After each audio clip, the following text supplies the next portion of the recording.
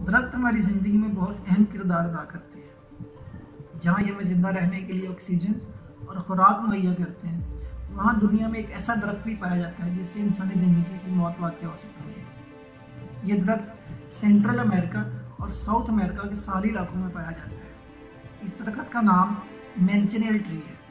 ये दरख्त देखने में बहुत खूबसूरत नज़र आता है और इसके ऊपर ग्रीनिश येलो कलर का एक फ्रूट लगता है।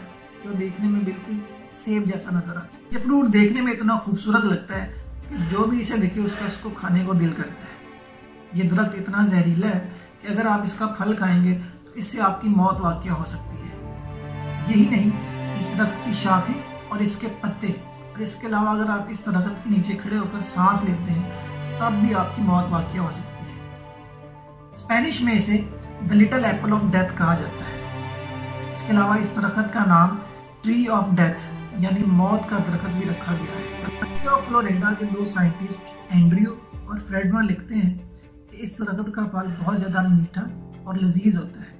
लेकिन इसके साथ साथ ये उतना ही ज़्यादा जहरीला भी है। उनका कहना है कि ये मुमकिन है कि इस फल को खाने से कुछ लोगों की मौत वाक़ हुई हो। लेकिन मॉडर्न लिटरेचर में ऐसी कोई मिसाल नहीं मिली। समुद्री सफ़र करने वाले कुछ लोगों का कहना है इस फल को खाने से एकदम मौत वाक़ नहीं होती। बल्कि जो लोग ये फल खाते हैं, उनमें इन्फ्लेमेशन और मुँह के गिर्द छाले बन जाते हैं। इसके अलावा मैदे और आंतों के शदीद किस्म के प्रॉब्लम का सामना करना पड़ सकता है, जिसका फौरी इलाज ना होने पर मौत वाक़ हो सकती है। इस दरख्त में ऐसा क्या है कि इसका फल खाने से लोगों की मौत वाक़ हो सकती है?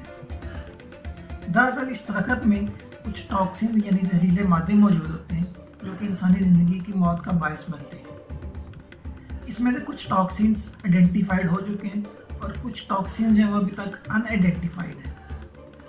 जो टॉक्सिन्स आइडेंटिफाइड हो चुके हैं, उनमें फोरबोल्स और कुछ स्किन एडिटेंट्स मौजूद होते हैं, जो कि शदीद किस्म के डर्माटाइटिस का सबब बनते हैं।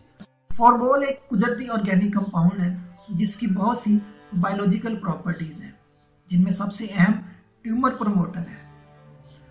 फोरबॉल हमारी बॉडी में मौजूद प्रोटीन काइनेस सी एंजाइम को एक्टिवेट करता है। ये एंजाइम हमारी बॉडी में सेल ग्रोथ और मेटाबॉलिक एक्टिविटी को कंट्रोल करता है। लेकिन जब फोरबॉल इस कंपाउंड को, इस एंजाइम को एक हद से ज़्यादा एक्टिवेट कर देता है तो सेल्स की इन्फ्लेमेशन हो जाती है और अल्टीमेटली सेल्स की डेथ स्टार्ट हो जाती है। दरख्त के हर हिस्से में फोरबॉल मौजूद होते हैं। लिहाजा इस दरख्त के किसी भी हिस्से को टच नहीं करना चाहिए। फोरबॉल चूँकि ऑर्गेनिक कंपाउंड है और ये पानी के अंदर हल हो जाता है। लिहाजा बारिश में अगर आप इस दरख्त के नीचे खड़े होते हैं तो वो फोरबॉल्स पानी के अंदर शामिल हो जाएँगे और वो आपकी बॉडी को ब्लिस्टर का बायस बन सकती है, जिससे आपकी बॉडी के ऊपर छाले बन जाएँगे। इसके अलावा अगर आप ये सोच रहे हैं कि ये दरख्त अगर इतना ही खतरनाक है तो इसको जला देना चाहिए। ऐसा सोचिएगा भी नहीं। क्यों? क्योंकि इस दरख्त को जलाने से जो धुआँ पैदा होगा, उस धुएँ के अंदर भी फोर बॉल्स के कंटेंट मौजूद होते हैं। जो कि आँखों की शदीद किस्म की बीमारी का बायस बन सकता हैं।